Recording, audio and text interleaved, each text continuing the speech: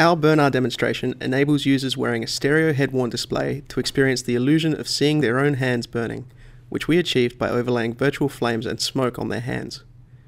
In this slow motion segment, you can observe the fire effect in more detail. This is a series of clips showing the participants' view of the BurnAR demo through the head-worn display. This clip shows the effect of hand movement on the virtual flames.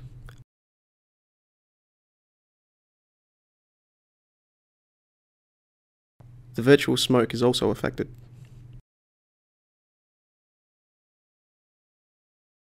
When the hand is held in a fixed position, the fire is not affected by head movements.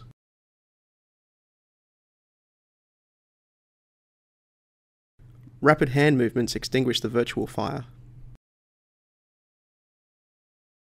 The participant views his hands through the real-time video of the stereoscopic head-worn display. The markers on the back wall are used by the MR platform software to track the user's head.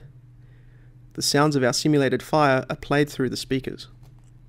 Our computer vision component is responsible for the computation of a volumetric hand model and its movements from frame to frame, expressed as optical flow. First, raw measurements from MR platform are refined as follows.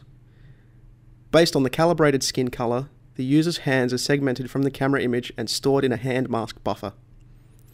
Next, we refine the hand mask through a robust filter. Finally, we use the refined mask to cut out pixels that are part of the hand. The result is a grayscale image.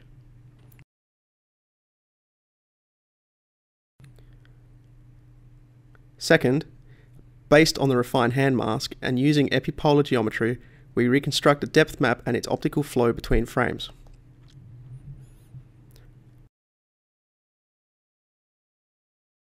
The graphics layer is responsible for generating a fire effect around the user's hand from the given computer vision input.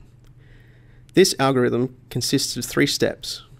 First, the input is converted into a 3D voxel grid.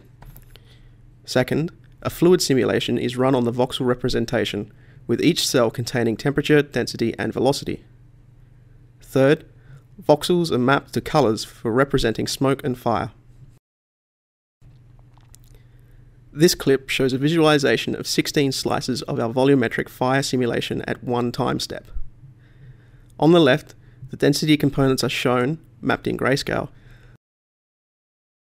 On the right, the velocity components are mapped to RGB from low, blue, to high, red. In this section, we show several clips from our demonstration at ISMAR 2011.